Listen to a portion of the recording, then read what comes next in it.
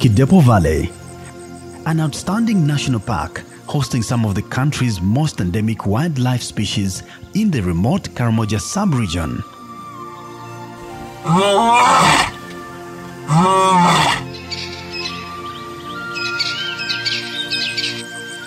A habitat to the African big game flightless birds and fastest land mammal, the cheetah.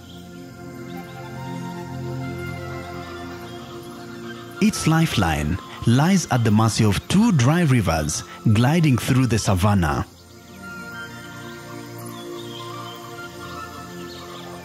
A stunning landscape with scenic undulating hills dominating its horizon. This untouched wilderness preserves a unique ambience and an authentic African wildlife experience to its visitors.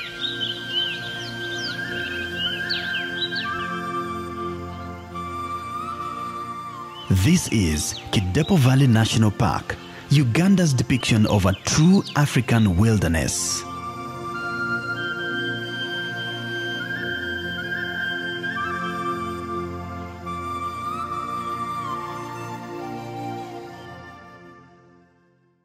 At the extreme northeastern corner of Uganda lies Kidepo Valley National Park, the country's third largest but most secluded national park. Kidepo Valley lies beneath hills and low mountains in the neighboring Karenga and Kabong districts, close to the international boundaries with Kenya in the east and South Sudan in the north.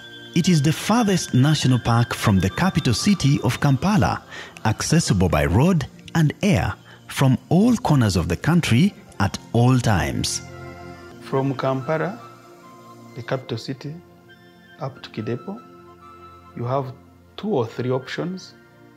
First option of about 600 kilometers is through Karuma Gulu Kitgum.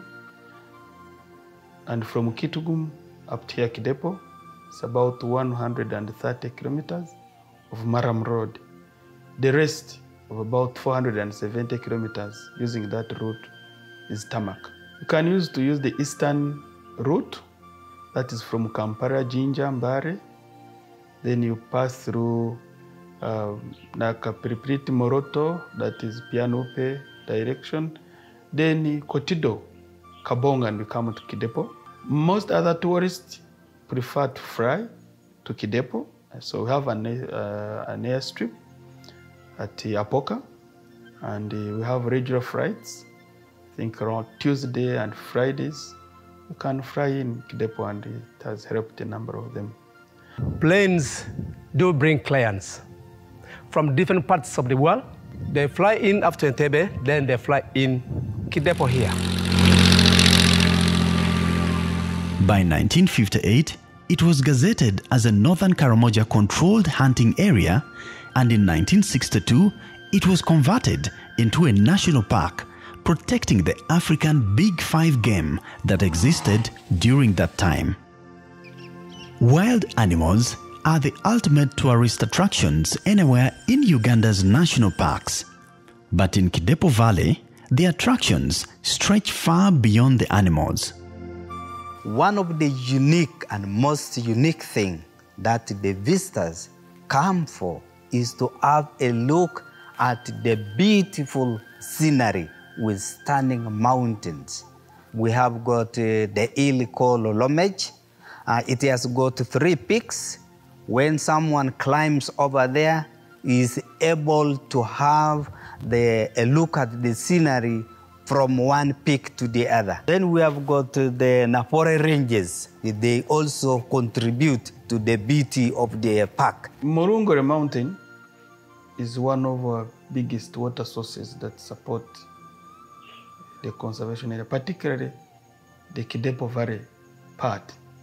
That's where, when it rains, most of the water that you, we have that get stagnant in some parts of the park that serves the animals generally come from. So it's our good water catchment area. This valley is a fortress of the biggest population of African Cape buffaloes in all Uganda's national parks.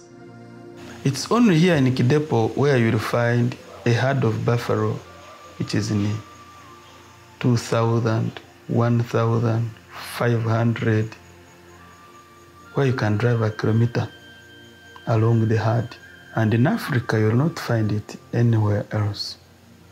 In fact, many times Kidepo Valley National Park has been voted among the best African parks. These herds are common sightings traversing along riverbanks in search of fresh grass and water in the wet Narus Valley. Dry rivers in Kidepo offer precious shelter to the dagga boys while the rest of the herds pitch camp under the shadows of sausage trees. The Borassus palm trees, red thorn acacia, and the iconic sausage trees are delicacies for giants and lofty browsers and common in this valley. During the dry season, large families of elephants gather at Nagusokopire campsite to enjoy some shelter under these acacia trees. It's a scorching afternoon, and these giants are rushing in to identify suitable spots for their members, especially the young ones.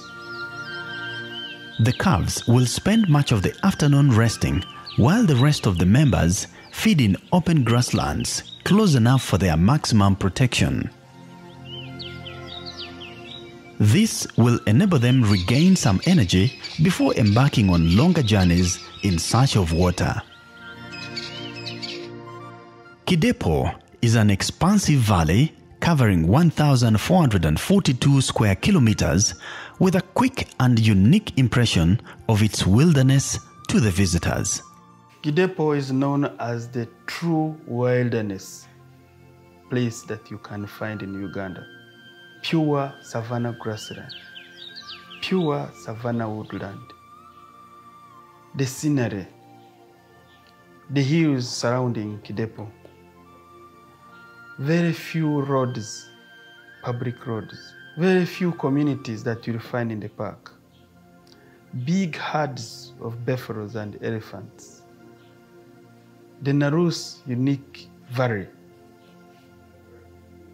The sunset and sunrise, the way it peaks and comes out.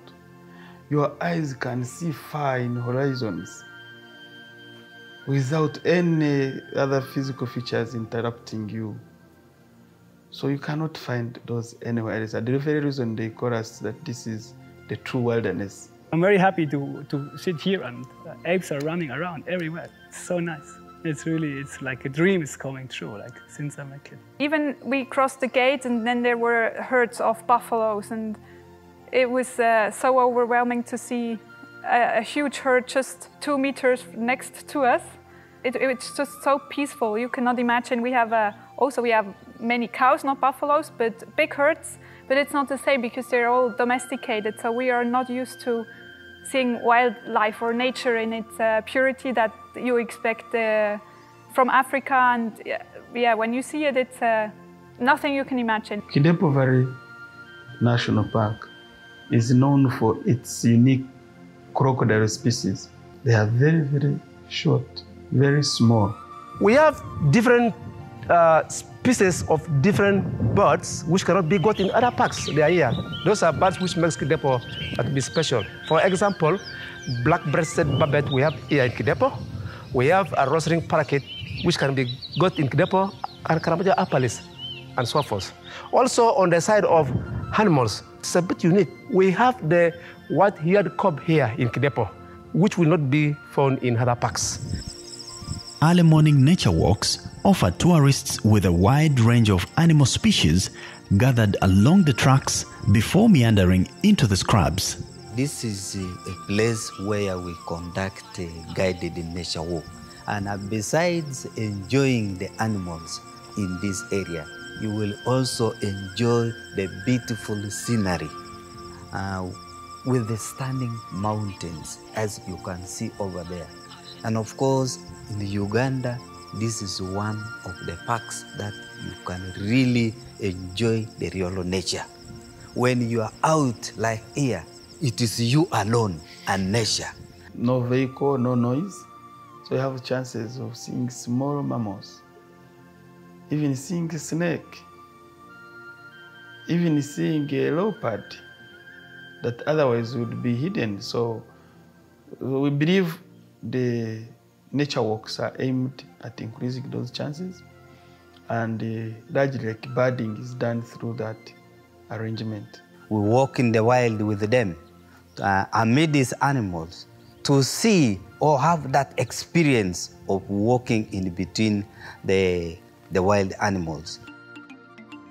To maintain the status of a true wilderness, limited tracks were opened for game drives, but still offering stunning views of wild beauty well worth discovering.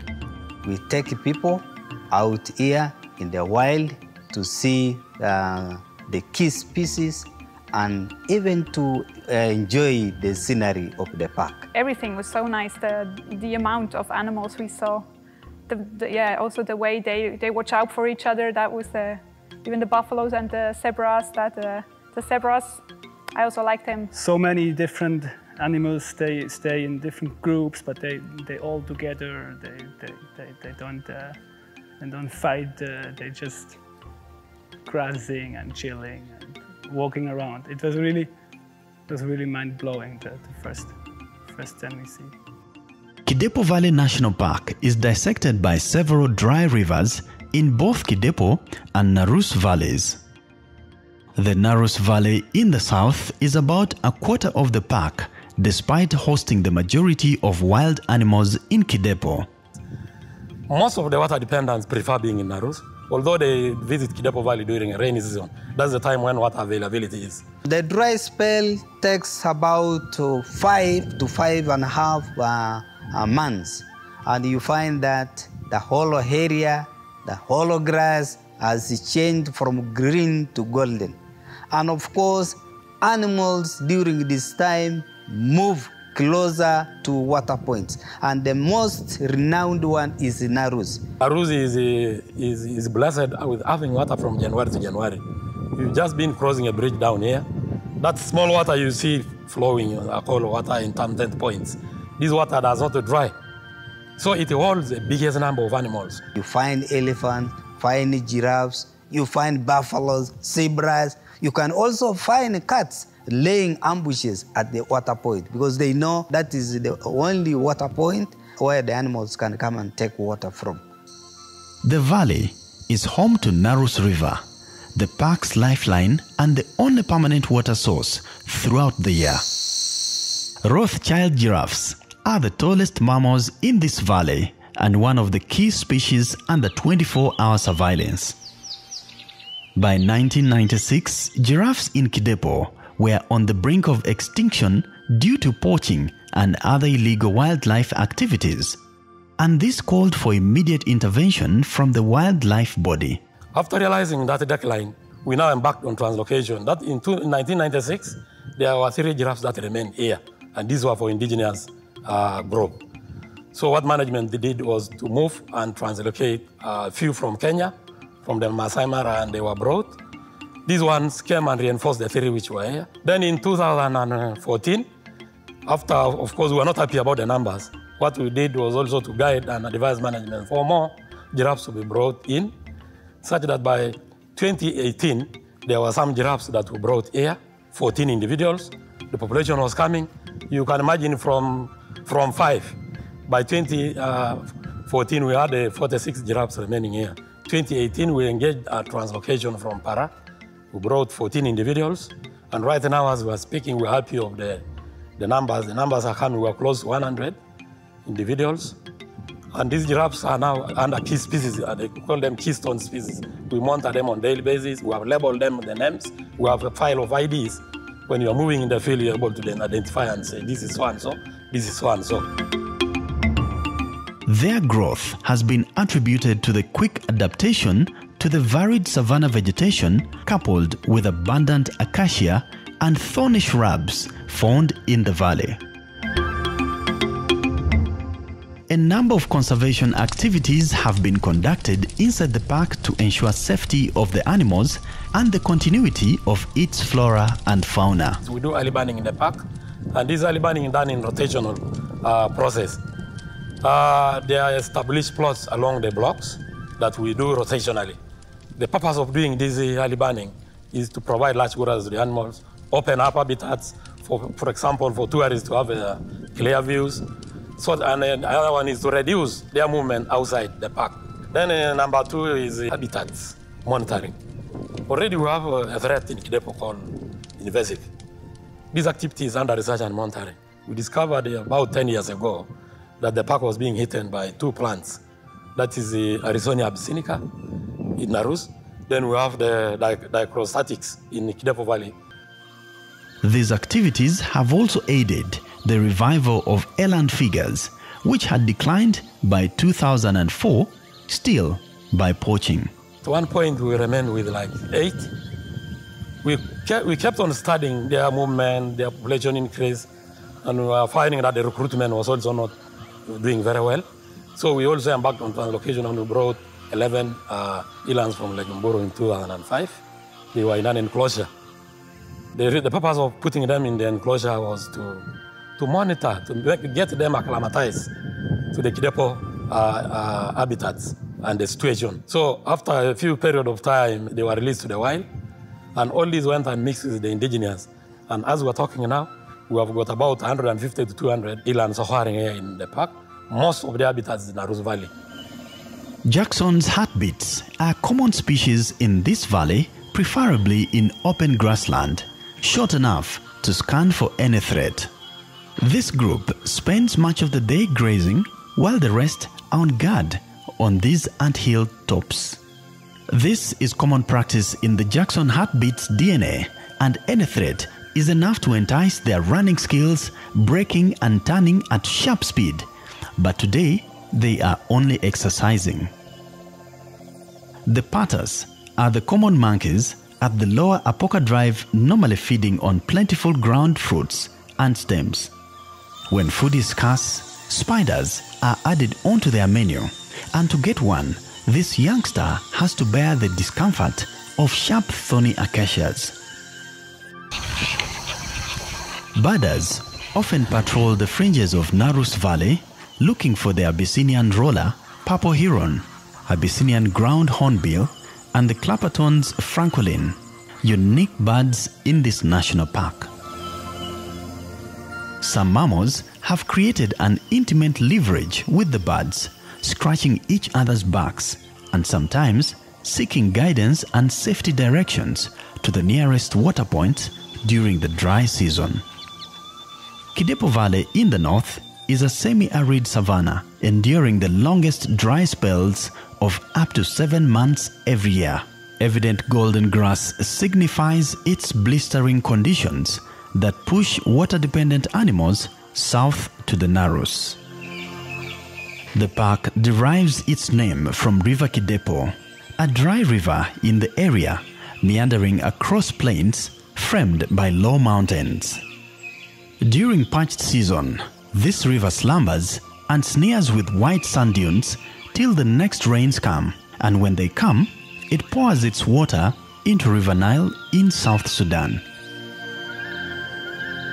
It's only in this valley in Uganda where bird enthusiasts encounter the majesty of the common ostrich, and this group is just returning from exile due to the wildfires that befell their fortress.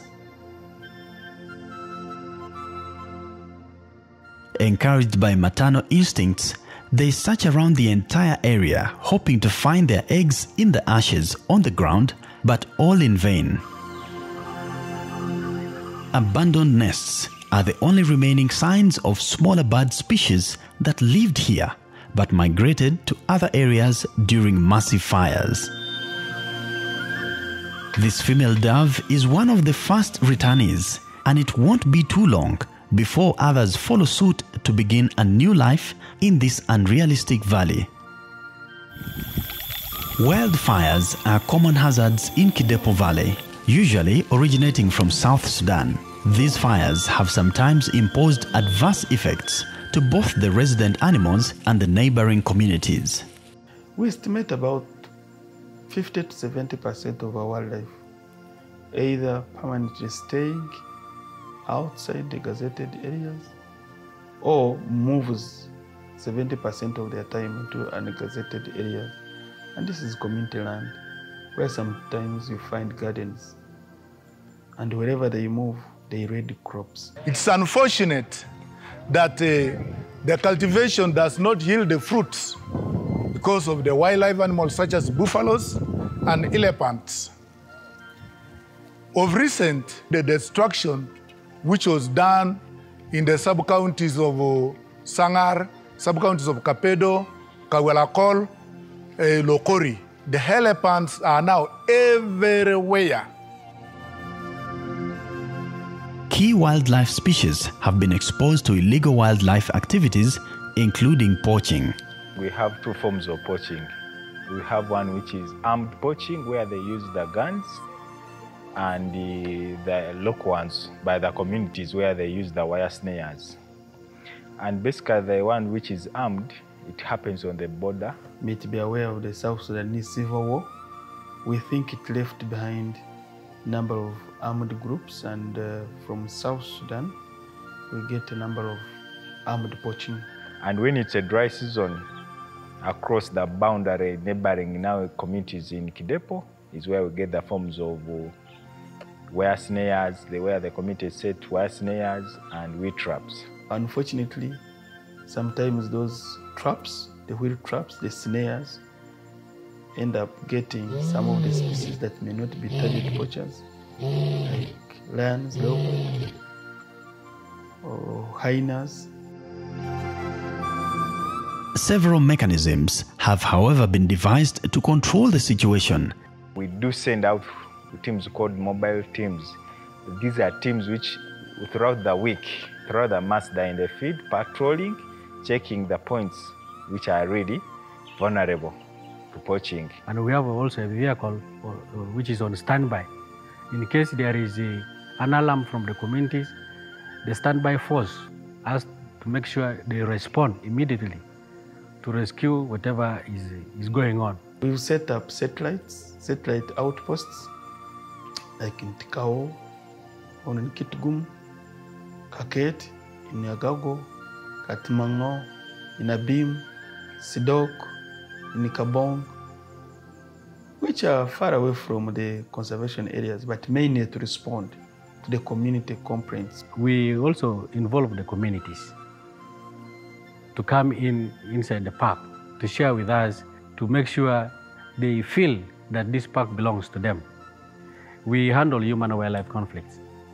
Human wildlife conflict is one of the activities that when these animals stray out from the park, they go and do a lot of damage in the community in the community land by crop raids. Everything is being done to support other initiatives to ensure that we reduce human wildlife conflict, like recruitment of scouts. We shared that we have about 400 scouts that are distributed across the six districts, mainly to support Uganda Wildlife Authority. This part of the park is surrounded by communities that keep wanting to encroach on the park for cultivation and other transgressions.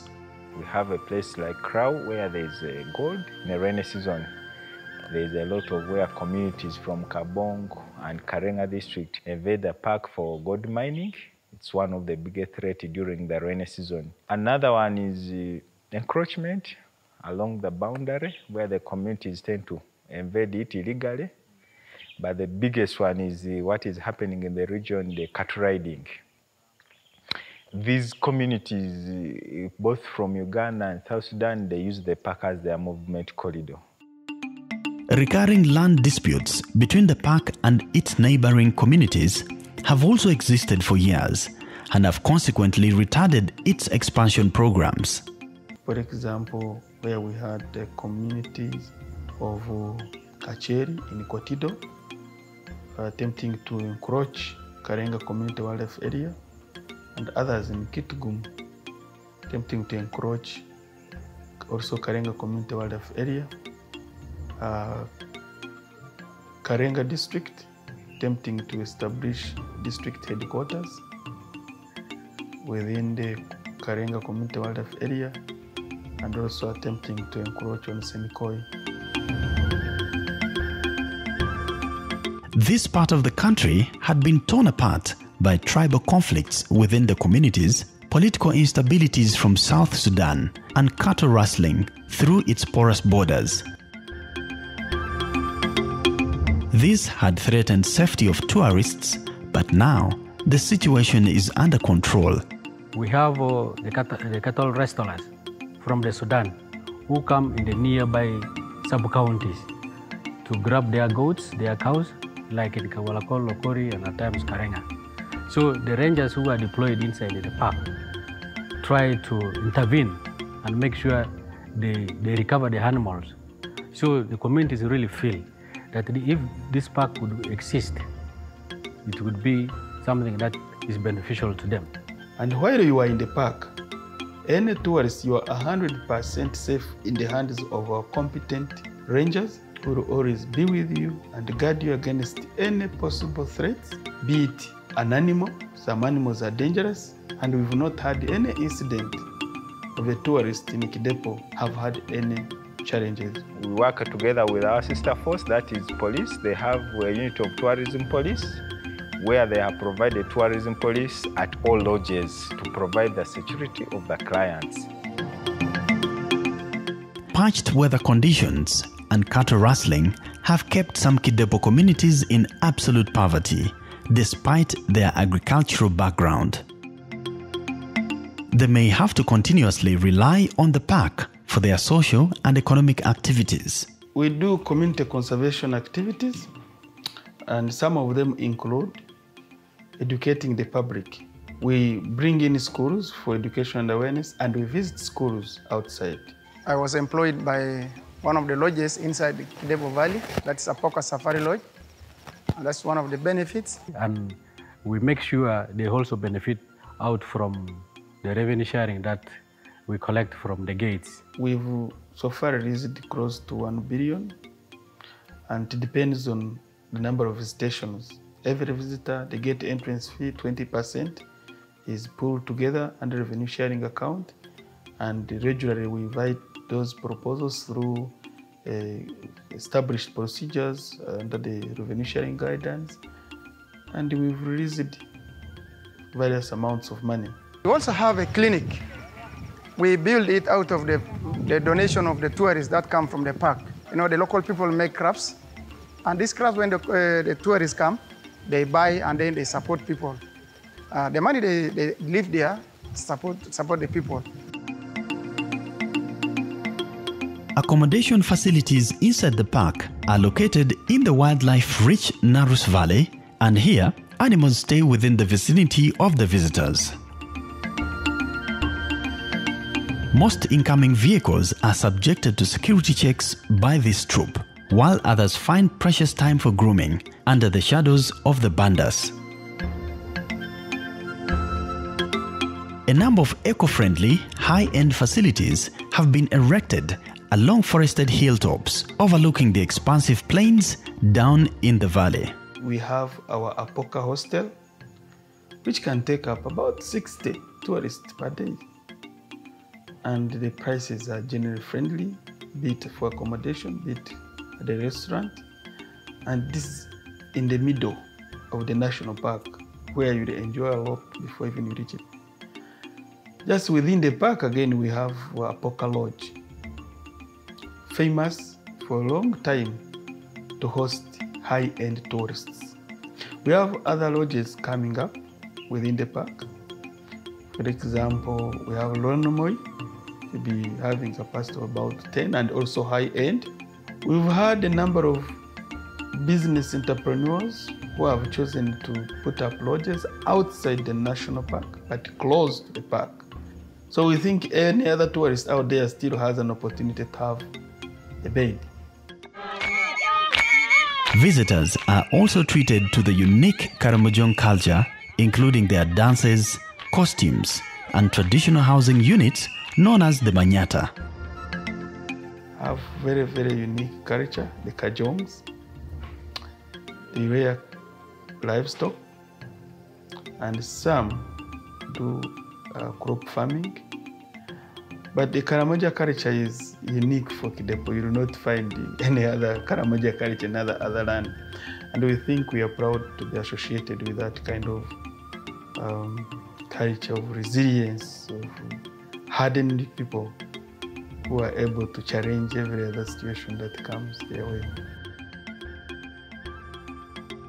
The resilience and fearless character of Kidepo has maintained its glory and now it's on course to recovery path to reclaim its ideal status of being home to African Big Five game, a position it once held in 1970s when the area had rhinos.